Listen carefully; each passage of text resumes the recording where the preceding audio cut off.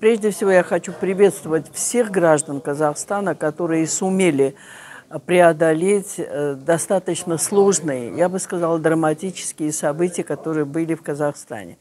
Для меня, как для первого защитника прав человека Армении, очень важно, чтобы любые изменения, проводятся ли это на конституционном уровне, или на законодательном, или даже на культурном и социальном, они обязательно основывались на одном принципе – принцип уважения достоинства человека.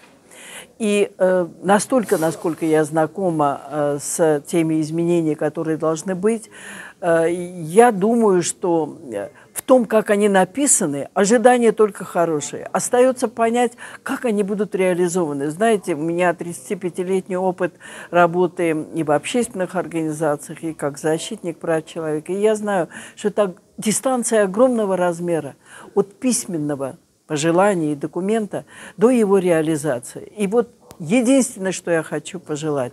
Я, кстати, знакома с очень многими правозащитниками в Казахстане. У меня была э, участником многих международных конференций, где выступала абсолютно талантливая современная молодежь Казахстана, в том числе политического пространства.